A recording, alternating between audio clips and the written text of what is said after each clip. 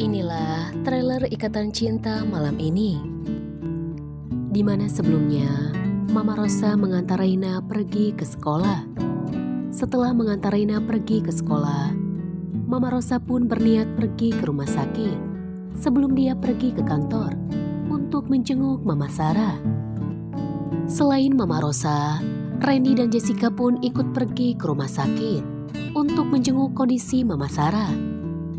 Sementara di sisi lain, kondisi Mama Sarah semakin membaik.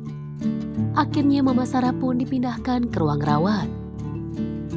Tak lama kemudian, setelah Mama Sarah dipindahkan, semua orang akhirnya berkumpul. Ada Mama Rosa, ada Andi dan Aldebaran, ada Elsa Papa Surya, ada Randy dan Jessica. Di mana di dalam ruangan rawat Mama Sarah, suasana begitu menegangkan. Saat lagi-lagi Elsa menyalahkan Andi karena tidak memberitahunya atas apa yang telah terjadi dengan Mama Sarah. Aldebaran pun berkata, "Jadi Abimana mencari tahu tentang keluarga saya.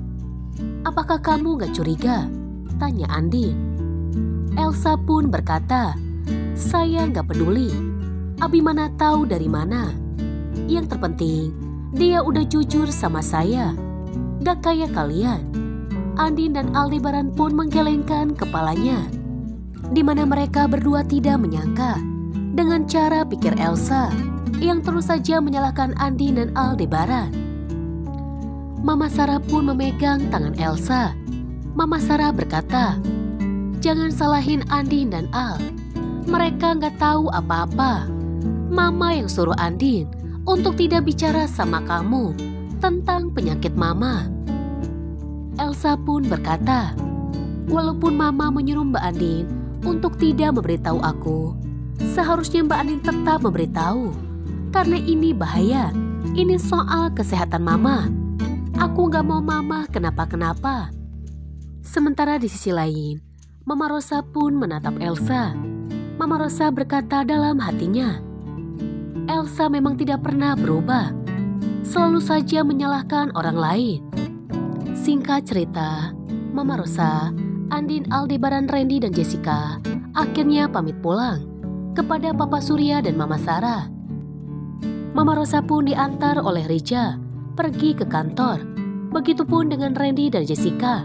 Mereka sama-sama pergi ke kantor. Sementara itu, Andin dan Aldebaran akhirnya pulang ke Pondok Pelita untuk berganti baju. Namun saat dalam perjalanan pulang ke Pondok Pelita, Andin pun berkata kepada Aldebaran, Mas, kenapa kamu gak biarin aja aku pulang sama Rija? Aldebaran menatap Andin. Dia berkata, saya hanya mau pastikan, jika kamu pulang baik-baik saja. Kamu itu belum istirahat seharian. Gimana saya gak khawatir? Andin pun berterima kasih kepada Aldebaran atas semua perhatiannya. Andin pun berkata, Mas, makasih ya, kamu sudah perhatian sama aku. Aldebaran pun akhirnya memegang tangan Andin.